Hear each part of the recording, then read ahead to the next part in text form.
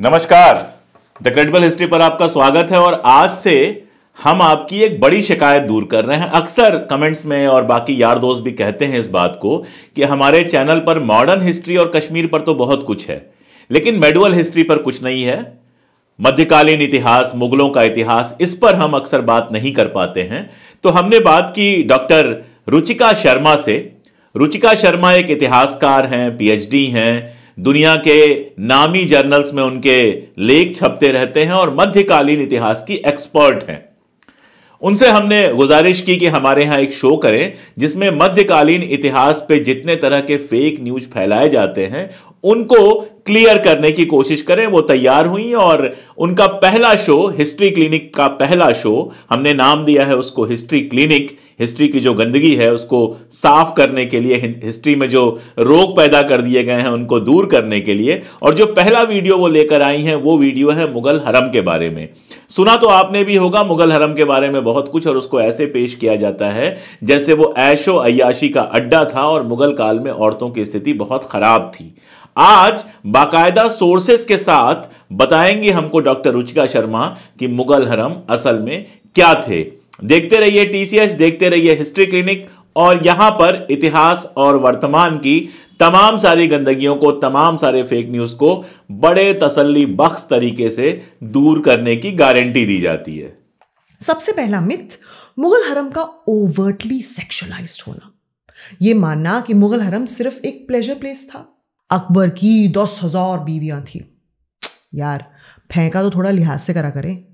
जेसविट्स की इमेजिनेशन में मुगल बादशाह फुल ओरिएंटल स्टाइल अयाश थे, जिसकी सैकड़ों बीवियाँ थी और वो हर वक्त विलासीनता में डूबा रहता था। क्या टेन थाउज़ेंड स्ट्रॉन्ग था मुगल हरम? एक overtly sexualize and utterly debaucherous place Jalaluddin Akbar की तीन सौ बीवियाँ थी। अबुल फजल, मुगल बादशाह अकबर के कोट क्रॉनिकलर, अपनी अकबरनामा में बताते हैं कि अकबर के हरम में पाँच हज़ार औरतें थी। उन्हें तो इंटरेस्ट था इस बात में कि शाहजहां अपनी बेटी के साथ एक इंसेस्टस लेसन में है। अच्छा तो क्या ये सब औरतें इनविजिबल थी? क्लॉइस्टर्ड थी? महल की चार दीवारी में बंद थी? चौथा मिथ यही है।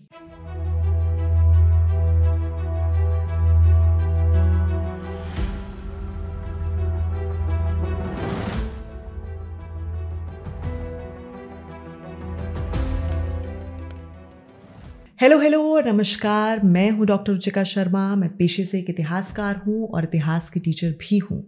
और ये है हिस्ट्री क्लिनिक हिस्ट्री क्लिनिक में हम इतिहास के नाम पर फैलाए गए झूठ का जमकर इलाज करेंगे। और आज हम इलाज करेंगे मुगल हरम के चार बड़े झूठ का। ऐसा अक्सर माना जाता है कि मुगल हरम एक प्लेजर प्लेस था, जहाँ सिर्फ़ मुगल बादशाह की वाइज रहती थी। एक overtly sexualise and utterly debaucherous place लोग अपनी सारी सलेशियस फैंटेसीज में मुगल हरम को ही इमेजिन करके जी रहे हैं। शाहजहां और उनकी बेटी जहाँ नारा की इंसेस्टस रिलेशनशिप भी इन्वेंट हो चुकी है। ऐसा प्रतीत होता है जैसे औरतें मुगल हरम में सिर्फ़ एक प्लेजर ऑब्जेक्ट थी।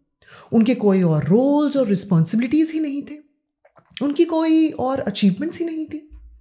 दूसरी तरफ़ ये भी धारणाएँ हैं कि मुगल हरम इनविजिबल था क्लॉइस्टेड था, यानी औरतें बस चार दीवारी के बीच ही बंद रहती थी। लोगों की फैंटेसीज में तो मुगल हरम का साइज़ भी काफ़ी एग्जैजरेटेड बताया जाता है। अकबर की दस हज़ार बीवियाँ थी। यार, फेंका तो थोड़ा लिहाज से करा करें।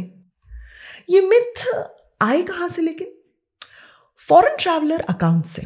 खास करके पोर्चुगीज फ्रेंच और Italian traveller accounts trade purposes के लिए पोर्चुगीज गुजरात कोस्ट पे आए और अपने साथ जेजुइट्स भी लाए। कौन थे जेजुइट्स सोसाइटी ऑफ़ जीसस के फॉलोअर्स जो इग्नेशियस लॉयला ने बनाई थी और कैथोलिसिज्म का एक सेक्ट भी है। ये लोग सिक्सटीन सेंचुरी में जब मुगल बादशाह अकबर रूल कर रहे थे, तब आए। और इनकी ट्रैवल्स की दास्ता, इनकी मुगल एम्पायर पे ऑब्जर्वेशन वगैरह अपने जर्नल्स में लिखी। और इनके जर्नल्स का अधिकांश focus for some reason Mughal हरम पर था। ताबड़तोड़ जजमेंट की नज़र से देखा गया मुगल हरम को। इन अकाउंट्स में और कुछ जेलसी से भी। क्रिश्चियन मोरालिटी जो लाद दी थी मुगल हरम पे, फिर मिस रिपोर्टिंग का भी काफ़ी दोष रहा। जर्जिट्स को ना तो यहाँ की भाषा पढ़नी आती थी, ना बोलनी। सॉलिडली लिमिटेड अंडरस्टैंडिंग ना केवल फारसी की, बल्कि उस समय भारत की और भी भाषाओं की। और यही अकाउंट्स ढाई सौ साल बाद भारत पर राज जमाए अंग्रेज़ी शासकों ने इस्तेमाल किए मुगल हरम के बारे में लिखने के लिए। अंग्रेज़ों द्वारा मुगलों को दिया हुआ रिच डिबॉचरस और वायलेंट होने का स्टीरियोटाइप भी जेजुअट अकाउंट से ही मेल खाता था। तो उन्होंने विदाउट एनी क्रिटिकल एनालिसिस इन अकाउंट्स को अपना लिया और, मुगल हरम का इतिहास कह के चेप दिया। खैर कॉलोनियल हिस्ट्री और क्रिटिकल एनालिसिस का दूर दूर तक वैसे भी नाता तो है ही नहीं। पर अब तो कोई रीज़न नहीं है कि हम मुगल हरम के इतिहास को अच्छे से ना समझ पाए। लेकिन अब भी अंग्रेज़ों द्वारा फैलाए गए मुगल हरम के मिथ्स सब जगह मिलते हैं और काफ़ी डेंजरस भी हैं, क्योंकि ये एक कम्युनल मानसिकता को बढ़ाते हैं। पर उससे भी ज़्यादा ये मुगल हरम की औरतों के इतिहास को छुपाते हैं, जिसको सामने लाना बेहद ज़रूरी है। खास करके तब जब एक औरत ने ही मुगल हरम के इतिहास के बारे में लिखा हो तो। तो आइए चार बड़े मुगल हरम के मिथ्स को बस्ट करते हैं। सबसे पहला मिथ, मुगल हरम का ओवर्टली सेक्सुअलाइज्ड होना। यह मानना कि मुगल हरम सिर्फ़ एक प्लेजर प्लेस था। जेसविट्स की इमेजिनेशन में मुगल बादशाह फुल ओरिएंटल स्टाइल अयाश थे, जिसकी सैकड़ों बीवियाँ थी और वो हर वक्त विलासीनता में डूबा रहता था। फादर मॉन्सरट एक जेजुइट प्रीस्ट लिखते हैं कि जलाल दिनस, यानी जलालुद्दीन अकबर, की 300 बीवियाँ थी। मुगल बादशाह जहांगीर के समय में आए टॉमस कॉरियाट, एक इंग्लिश ट्रैवलर के हिसाब से जहांगीर अपनी बॉडी के लिए, यानी प्लेजर पर्पसेस के लिए, हज़ार औरतें रखते थे। ट्रेवर्निया और बर्निया सेवनटीन सेंचुरी के फ्रेंच और इटालियन ट्रैवलर्स रिस्पेक्टिवली जो शाहजहां के समय में हिंदुस्तान आए, एक इंसेस्ट्रस रिलेशनशिप बताते हैं शाहजहां और उनकी बड़ी बेटी सबीहत अल जमान जहानारा के बीच में। जहानारा की मदर मुमताज़ महल के गुजर जाने के ठीक बाद। ये इंसेस्ट वाला मिथ बर्निया के अकाउंट से हु बहू कॉपी कर दिया गया ट्वेंटी सेंचुरी में अंग्रेज़ ऑफिसर स्टैनली लेनपूत द्वारा। उनकी किताब में। और इसीलिए आज भी फ़ेमस है। सबसे बड़ी यहाँ मिसअंडरस्टैंडिंग ये है कि मुगल हरम सिर्फ़ मुगल बादशाहों की बीवियाँ से ही लैस था। या फिर उनके साथ नेसेसरीली किसी फिजिकली इंटीमेट रिलेशनशिप में थी। ये मिसअंडरस्टैंडिंग हरम वर्ड और उसके कॉन्सेप्ट को ना समझ पाने से हुई। हरम का मतलब होता है सेक्रेड प्योर चेस्ट पवित्र। और हालाँकि considering women as pure is deeply patriarchal ये हरम के कॉन्सेप्ट पे रोशनी ज़रूर डालता है। हरम में बादशाह की वाइव्स ही नहीं, उनकी mother grandmothers foster mothers यानी दाई माँ, उनकी सिस्टर्स आंट्स फीमेल कजिन्स ये सब भी शामिल थी एम्पर की बीवियों के अलावा।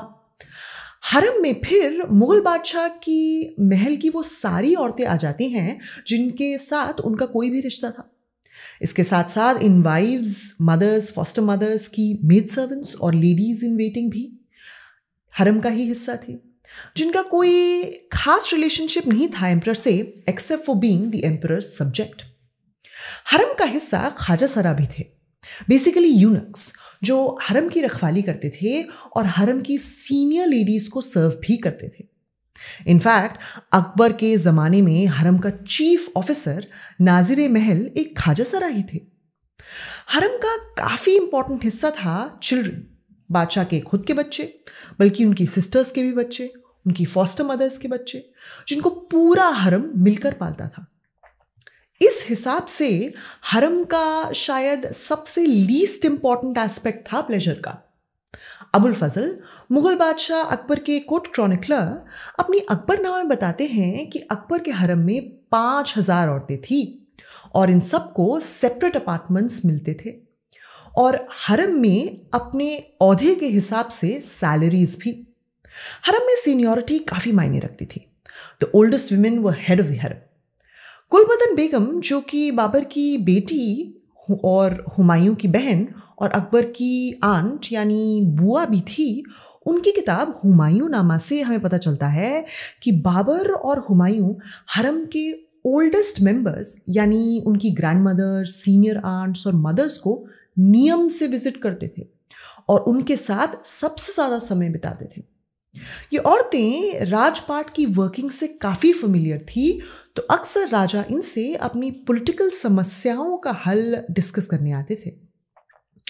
तो ये तो क्लियर हो गया कि हरम सिर्फ़ किंग की बॉडीली प्लेजर के लिए नहीं था। तो फिर हरम में विमेन का रोल क्या था? इसी से आया है दूसरा मिथ कि मुगल हरम में औरतें बस किंग को प्लेजर करती थी और कुछ भी नहीं। ऑब्वियसली गलत। हरम की सीनियर लेडीज़ ना केवल बादशाह को पॉलिटिकल मैटर में एडवाइस करती थी, बल्कि एस निगोशिएटर्स भी थी। मुगल बादशाह हुमायूं की बुआ, यानी उनकी पटर्नल आंट खानजादा उन्हीं को ले लीजिए। जिन्होंने हुमायूं की, उनके बगावती भाइयों से सुलह करवाई। एम्प्रर के कहने पर मुगल हरम की लेडीज़ एडमिनिस्ट्रेशन भी संभालती थी। जैसे कि हामिदा बानो बेगम, जो कि अकबर की मदर थी, उन्होंने अकबर के रिक्वेस्ट पे ही दिल्ली प्रोविंस की इंचार्ज बनी, जब अकबर काबुल गए थे एक पॉलिटिकल कॉन्स्पिरसी को सप्रेस करने। फैसिनेटिंगली ये बात हमें जेजुएट फादर मॉन्जरट के अकाउंट से भी मिलती है। लेकिन ये डिटेल्स अंग्रेज़ों की नज़र से बच गई। क्योंकि इस बात में शायद उन्हें इंटरेस्ट ही नहीं था। उन्हें तो इंटरेस्ट था इस बात में कि शाहजहां अपनी बेटी के साथ एक इंसेस्ट्रस लेसन में है। जहानारा अपनी माँ की मौत के बाद मुगल हरम की काफ़ी पॉपुलर लेडी थी और पावरफुल भी। उन्हें पातशाह बेगम का टाइटल मिला। जहानारा की पावर से ये बाज़ार गॉसिप आई इंसेस्ट की। निकोला मनुची सत्रहवीं शताब्दी के एक और इटालियन ट्रैवलर इस इंसेस्ट मिथ को सिर्फ़ बाज़ार गॉसिप बताते हैं, जिसमें कोई ट्रुथ ही नहीं है। ये मिथ पितृसत्ता यानी पेट्रियाकी की एक पावरफुल औरत को ना समझ पाने की वजह है। जहानारा की पावर उनकी वेल्थ से थी। वो सूरत में चल रहे इंटरनेशनल ट्रेड में काफ़ी हिस्सा लेती थी और उनकी शिप साहिबी ट्रेड एक्सपीडिशंस पे भी जाती थी। इन्हीं रेवेन्यूज से फिर जहानारा ने चांदनी चौक जैसा मार्केट भी बनवाया, जिसके बीच में यमुना के एक छोटा सा कैनल भी बहता था, जिसे पैराडाइज कनाल यानी नहरे बहिश्त भी कहा जाता था। गॉसिप इससे भी आती है कि जहानारा ने कभी भी शादी नहीं की, जो कि मुगल लेडीज़ के लिए काफ़ी अनप्रेसिडेंटेड था। जहानारा फिर हर तरीके से एक यूनिक औरत थी। और यूनिक औरतों को समझने में अक्सर पेट्रिया की चूक तो करती ही है। जैसे कि नूरजहां को हुई समझने में हुई। नूरजहां जहांगीर की एटीन और लास्ट वाइफ उनको भी पातशाह बेगम का टाइटल ही मिला था। नूरजहां ही जहांगीर की इलनेस के समय मुगल सल्तनत का भार संभालती थी। जहांगीर अपने मेमोज जहांगीर नामा में लिखते हैं कि वो नूरजहां पर पूरा भरोसा करते थे। नूरजहां ने फरमान भी जारी किए। और अपने नाम के कॉइन्स भी इशू किए। इसके अलावा वो एक फैशनिस्टा भी थी। उन्होंने किनारी सिल्वलेस बदला, जो कि सिल्वर ब्रोकेड है, और पंचतोलिया भी ईजाद किया, जिसका वेट सिर्फ़ पाँच तोले का था और भारी ओढ़नी से हल्का भी था। कंफर्ट भी और फ़ैशन भी। जहानारा और नूरजहां दोनों अव्वल दर्जे की राइटर्स भी थी। उनकी अरबी और फारसी पर बढ़िया कमांड थी। वो शायद इसीलिए क्योंकि मुगल हरम में तालीम का पूरा प्रबंध था। ट्यूटर्स को आतुन मामा कहा जाता था। हरम की लेडीज़ पेंटिंग भी कर सकती थी। सहीफा बानो बेगम और नीनी बानो, वो रेयर फीमेल मुगल पेंटर्स में से एक हैं जिनकी पेंटिंग्स हमारे पास आज भी मौजूद हैं। औरंगज़ेब को ही ले लीजिए। उनकी सबसे बड़ी बेटी जेबुन्निसा बेगम तगड़ी स्कॉलर थी और पोइट्री का शौक भी रखती थी। जिसके चलते औरंगज़ेब ने उन्हें फारसी के मशहूर पोएट मुल्ला सईद मजंदरानी के यहाँ नज्म की तालीम लेने के लिए भेजा। जेबुन्निसा ने इसके साथ साथ एस्ट्रोनॉमी और मैथमेटिक्स की भी तालीम ली। और कलीग्राफी में आर्ट ऑफ़ राइटिंग उसमें भी माहिर थी। Scholars teachers administrators negotiators poets fashionistas builders और ट्रेडर्स होने के अलावा बादशाह की सिक्योरिटी की पूरी ज़िम्मेदारी भी हरम पे ही थी, जब वो हरम की किसी भी लेडी को विज़िट करने आते थे। तब विमेन गार्ड्स ही अपने वेपन से लेस उनकी रक्षा करती थी। अबुल फजल के हिसाब से विमेन गार्ड्स ही अकबर के खाबका, यानी उनकी रेस्टिंग अपार्टमेंट्स को गार्ड करती थी। अब भाई, इतनी सारी जिम्मेदारियाँ होंगी तो मुगल हरम काफ़ी बड़ा तो होगा ही ना। तीसरा मिथ ये है कि मुगल हिरम का एक एग्जैजरेटेड नंबर था। क्या टेन थाउज़ेंड स्ट्रॉन्ग था मुगल हरम? ऑब्वियसली नॉट पर मुगल हरम का साइज़ जैसे कि अकबर के समय में फाइव थाउज़ेंड स्ट्रॉन्ग इसीलिए था क्योंकि मैट्रिमोनियल अलायंसेस से आई औरतें अक्सर अपने साथ अपनी ट्रस्टेड मेड्स और फ्रेंड्स को भी लाती थी। जैसे कि अकबर की राजपूत वाइफ्स जो अपने साथ अपनी स्लेव गर्ल्स भी लाती थी और सिंगर्स और डांसर्स भी। अब एक वाइफ अपने साथ पचास से साठ औरतें लाएगी तो हरम तो बड़ा होगा ही ना। अच्छा तो क्या ये सब औरतें इनविजिबल थी? क्लॉइस्टर्ड थी? महल की चार दीवारी में बंद थी? चौथा मिथ यही है। मुगल हरम बाबर और हुमायूं के समय में एम्परर के साथ मूव करता था। यानी कि अगर एम्परर एक लॉन्ग एक्सपीडिशन पे जा रही हो तो उनका हरम भी उनके साथ ट्रैवल करेगा। ये कांस्टेंट मूवमेंट सब औरतों के लिए सेफ़ नहीं थी, खासकर की चाइल्ड बियरिंग यानी प्रेग्नेंट औरतों के लिए। उस समय में रेल और हवाई जहाज़ भी तो नहीं थे। ऑन फुट जाइए या ऑन हॉर्सेस इसी के मद्देनजर अकबर ने हरम को एक स्टेबिलिटी दी फतेहपुर सीकरी में। जहाँ पर उन्होंने अपने हरम की औरतों के लिए एक फिक्स अपार्टमेंट्स बनाकर अपनी औरतों को एक सेपरेट अपार्टमेंट्स दी। अब अकबर के एक्सपीडिशंस पे उनके हरम को जाना ज़रूरी नहीं था। पर क्या इसी से हरम क्लॉइस्टर भी हो गया? अकबर के ज़माने में ही उनकी फ़ेमस बुआ गुलबदन बेगम, हुमायूं नामा की राइटर अपने साथ एक बड़ा सा विमेंस ग्रुप लेकर हज पे गई। अकबर के बेटे मुराद ने उनको एस्कॉट करना चाहा, लेकिन गुलबदन ने साफ़ मना कर दिया। फिर नूर जहाँ हंट पे अक्सर जाया करती थी, जहांगीर के साथ। जहांगीर के हिसाब से वो इतनी बढ़िया शिकारी थी कि उन्होंने छह शॉट से ही चार टाइगर्स का शिकार कर दिया था। तो ऐसा कहीं नहीं प्रतीत होता कि विमेन बैनिश्ड थी हरम में इनविजिबिलिटी के कर्स से। अपने शौक के लिए या अपनी तालीम के लिए वो कहीं भी आ जा सकती थी, जैसे कि जेबुन्निसा गई थी नज्म की तालीम लेने। लेकिन हरम लाइफ पूरी आसान भी तो नहीं थी। Child bearing was not easy खासकर की तब जब मेडिकल फैसिलिटीज़ ना के बराबर थी। High maternal mortal high maternal mortality rate था और इन्फेंट मोर्टालिटी भी। Miscarriages losing a child से जो डिप्रेशन होती वो अलग। पर ये सिर्फ़ मुगल हरम की ही परेशानियाँ नहीं, किसी भी हरम की ही रही होंगी। इंपॉर्टेंट बात यह है कि औरतों की किसी भी हिस्ट्री को देखें तो पितृसत्ता को ना भूला करें। अफकोर्स पितृसत्ता थी और आज भी है। लेकिन जैसे आज भी औरतें इस पितृसत्ता में सर्वाइव करती हैं और अपने हक के लिए हर दिन लड़ती हैं, वैसे ही इन्होंने भी किया। अपने तरीके से अपना सा इनकलाब। And this was just an attempt to highlight that आपको ये एपिसोड कैसा लगा? कमेंट सेक्शन में ज़रूर बताइएगा। और अगर पसंद आया हो तो लाइक और शेयर भी ज़रूर कीजिएगा।